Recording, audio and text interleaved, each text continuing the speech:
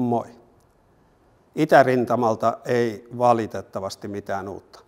Venäjän raakalaismainen hyökkäys Ukrainaa vastaan jatkuu raakalaismaisin, suorastaan barbaarisin otteen. Samanaikaisesti Kremlin valheet ovat, jos mahdollista, entistä paksumpia. Tiistaina Venäjän entinen presidentti Dmitri Medvedev väitti, että Venäjän on varauduttava Naton aggressioon, koska lisää NATO-joukkoja on sijoitettu nyt Venäjän naapurimaihin. Ha ha. Medvedev tietää tasan tarkkaan, miksi juuri nyt Venäjän NATOon kuuluvat naapurimaat, jotka ovat Venäjää pienempiä kaikki, haluavat NATO-joukkoja alueelleen. Eduskunnan NATO-prosessi etenee. Täällä on vahva kannatus, mutta samalla haluan sanoa, etten lainkaan hyväksy sitä, että esimerkiksi somessa kivitetään kaikkia heitä, jotka ovat eri mieltä eli vastustavat Suomen NATO-jäsenyyttä. Kaikilla asioilla on puolensa. Ja kyllä meidän pitää pystyä rakentavaan keskusteluun myös heidän kanssaan, jotka vastustavat Suomen NATO-jäsenyyttä. Onko meillä Suomessa sitten vaihtoehtoa sille, että nyt pyrkisimme Naton jäseneksi? On. Se on suomettuminen. Jos me olemme yksin aggressiivisen, militaristisen diktatuurin kanssa ja meidän pitää kahden kesken hoitaa asiamme, vaikka ollaan EUn jäseniä, niin kyllä siitä on seurauksena nöyristely, sievistely, sen maan asioiden epäkohdista vaikeneminen ja muun sen kaltainen asia Suomessa, joka on tuttua 70-luvulta, 80-luvulta suomettumisen ajalta. Ilmestyy niitä poliitikkoja ja muita yhteiskunnallisia toimijoita, jotka haluavat olla vähän suurempia Venäjän ystäviä kuin kilpailijansa ja jotka rupeavat taas pelaamaan niin sanotulla Venäjä-kortilla. Suomettumisesta puheen ollen.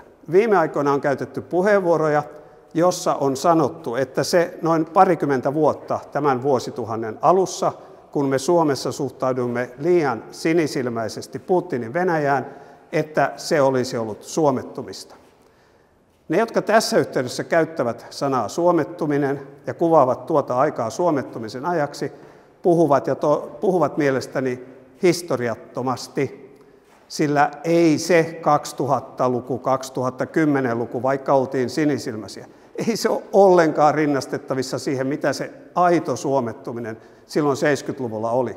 Vai onko niin, että nyt viimeisen 20 vuoden aikana olisi jotain puoluetta pidetty väkisin paitsiossa vaalituloksesta riippumatta, koska se ei muka omaa riittävää luottamusta Moskovassa. Onko niin, että Yleisradiossa olisi ollut kiiltokuvaohjelmia propagandaa Venäjän puolesta? Onko niin, että kaikki media ja kaikki yhteiskunnalliset toimijat olisivat vaienneet Venäjän epäkohdista?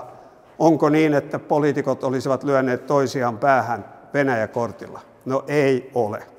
Sen myönnän ja sanon ja hyväksyn, että käytetään esimerkiksi termiä suomettumisen jälkikaiut, jotka kuuluivat varmasti joissakin puheenvuoroissa viimeisen 20 vuoden aikana. Tai voidaan puhua vaikka suomettumisen tuotantokausi kahdesta, joka on erilainen kuin se todellinen suomettumiskausi. Tähän liittyen vihreitä on kehuttu siitä, kun ne vastusti Fennovoiman ydinvoimalaa. No mikä ihme se on? Kun ne vastusti kaikkia ydinvoimaloita, tuli ne mistä maasta tahansa, idästä tai lännestä, niin totta kai ne vastusti silloin myös Fennovoimaa. Ja vastusti muuten sitä hanketta jo silloin, kun siihen piti tulla saksalainen laitetoimittaja. Edelleen vihreät vastusti luonnollisesti Olkiluota kolmosta, ja jos sitä ei nyt olisi, niin me olisimme huomattavan paljon riippuvaisempia sähkön tuonnista Venäjältä. Sitten ihan toinen asia. Hoitoalon työtaistelut jatkuvat ja yleensäkin kuntasektori. Ministeri Lindeen sanoi eduskunnan kyselytunnilla, että hän olisi valmis maksamaan lisää veroja, jotta hoitajat saisivat parempaa palkkaa. No, demarit kyllä keksivät kaikki mahdolliset syyt kiristää veronmaksajien, ennen kaikkea palkansaajien verotusta, mutta mistä Lindeen tietää, että jos hänen tuloluokassaan verotusta kiristetään, että se menee hoitajien palkkoihin? Mä luulen, että moni meistä haluaisi veronmaksajana itse päättää, mihin verojaan käyttää, mihin niitä maksettuja veroja käytetään, ja moni sen jälkeen maksaisi mieluummin veroja, mutta saattaisi myös moni tärkeä yhteiskunnan asia jäädä rahoittamatta. Hoitajien, mutta myös muiden naisvaltaisten julkisen sektorin palvelualojen palkat ovat kuopassa. Varhaiskasvattajien, kirjastonhoitajien ja monien muiden. He kaikki ansaitsisivat kuoppakorotuksen.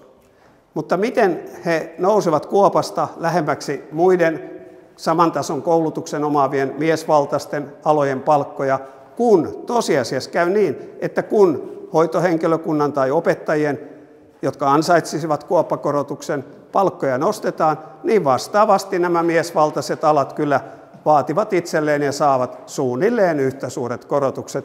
Eli eräältä voin se kuoppa muihin palkkoihin nähden, se ei lainkaan siitä pienene.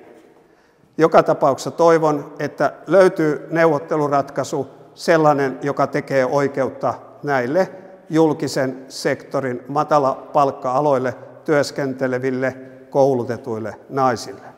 Ei muuta. Moi.